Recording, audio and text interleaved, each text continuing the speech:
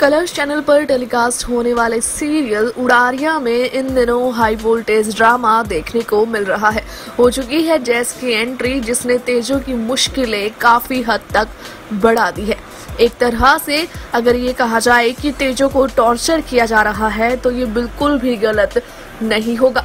Serial की recent episode में आपने देखा ही होगा कि किस तरह से जैस्मीन एक बार फिर से जैस के साथ मिलकर चाल चलती है। तेजो को कॉल आता है। मनप्रीत नाम के स्टूडेंट का, लेकिन वो मनप्रीत नहीं, बल्कि जैस होता है, जो मनप्रीत की आवाज़ में तेजो से कहता है कि वो सुसाइड करने जा रहा है। और अगर उसकी मदद नहीं की गई तो वो सच में कॉलेज की छत से कूद जाएगा। ये सुनकर तेजो घबरा जाती है और सीधे घर से बाहर निकलती है।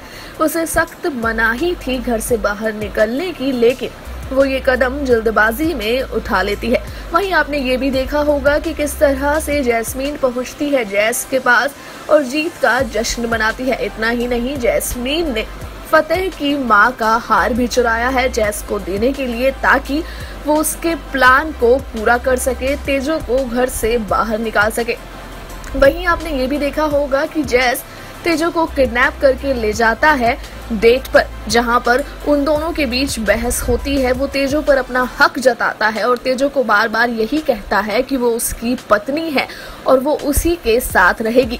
ये सुनकर तेजो घबरा जाती है, परेशान हो जाती है। हालाँकि वो उसकी हर बात का मुँह तोड़ जवाब देने की कोशिश भी करती है। वहीं कल के एपिसोड की जहाँ तक बात की जाए तो आपको ये देखने को मिलेगा कि तेजो फतेह सिंह विर्क के घर पर पहुँच जाएगा। जिस बात का अंदाज़ा किसी को भी नहीं था, वो हकीकत में होगी। आप जैस को देखेंगे, विर्क फैमिली में, और हर कोई जैस को देखकर हैरान हो जाएगा, और इतना ही नहीं, जैस पुलिस के साथ पहुंचेगा। अब जैस का अगला कदम यही है कि वो फतेह को किसी बड़ी मुसीबत में फंसाने वाला है। आगे क्या कुछ होता है, सीरियल में ये देखना बेहद ही इंटरेस्टिंग होगा। मनोरंजन जगत से जुड़ी ताज़ा तरीन खबरों के लिए हमारे चैनल को ज़रूर सब्सक्राइब करें ताकि आप तक पहुँचता रहे हमारा हर लेटेस्ट अपडेट।